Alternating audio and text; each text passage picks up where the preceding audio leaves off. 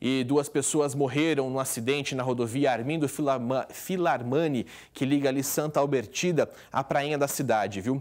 De acordo com a polícia rodoviária, as duas vítimas estavam num carro com outras duas pessoas no momento desse acidente. O motorista perdeu o controle da direção e bateu numa árvore. O carro explodiu logo em seguida, como a gente está vendo, viu? Um dos passageiros morreu carbonizado.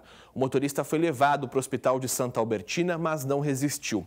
As outras duas vítimas vítimas, entre elas um adolescente de 15 anos, foram levados para a Santa Casa de Jales. O adolescente teve várias fraturas pelo corpo e o estado de saúde é considerado estável. O outro sobrevivente já recebeu alta.